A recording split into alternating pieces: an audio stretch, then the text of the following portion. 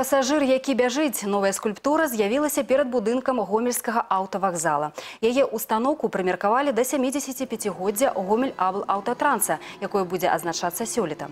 Задумка з'явілася некалькі гадоў таму. На конкурс, які аб'явіла прадпрыемства, паступіла шмат праектаў. Лепшыя прызналі ідэю Вячаслава Далгова. Такія яго работы, як карандаш, першы гамяльчанін, пасажыр на чемадане, сталі візітнымі карткамі абласнога цэнтра. У гомель абл аўтатрансе спадзяюцца, што і скульптура пасажыр, які бяжыць, стане ў гэты шэраг. Мы все-таки надеемся, что э, у нашего пассажира тоже сложится, наверное, своя какая-то легенда. И наши пассажиры, которые будут э, либо приезжать, либо покидать наш город ненадолго, будут все-таки э, фотографироваться с ним, и он им будет желать счастливого пути и приносить удачу.